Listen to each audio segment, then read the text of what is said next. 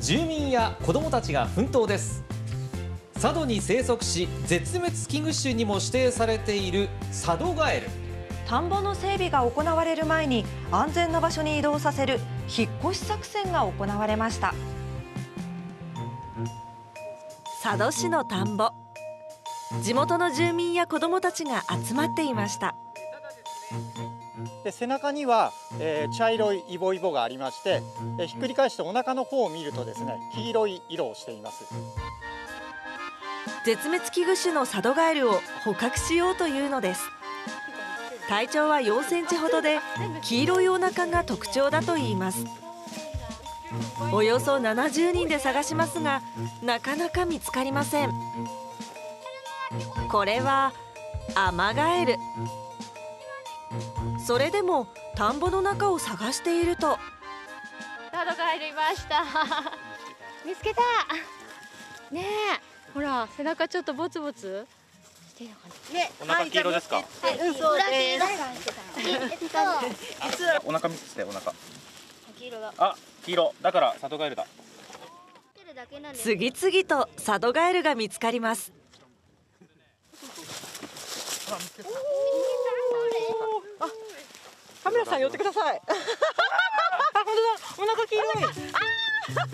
飛び跳ねるカエルに悪戦苦闘する人たちも。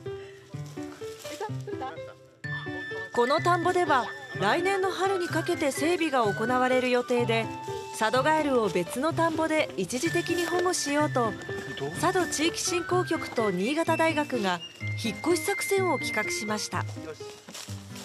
農業になかなかあの関わりの薄かった方もおられるかと思うんですがこういうイベントを機にですね、えー、農業について関心を持っていただくとともに地域資源の保全活動にですねぜひ今後とも参加していただきたい。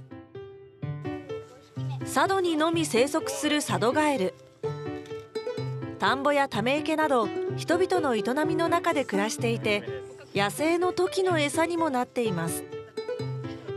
この日は35匹を保護することができました。何匹取ったの？3匹です。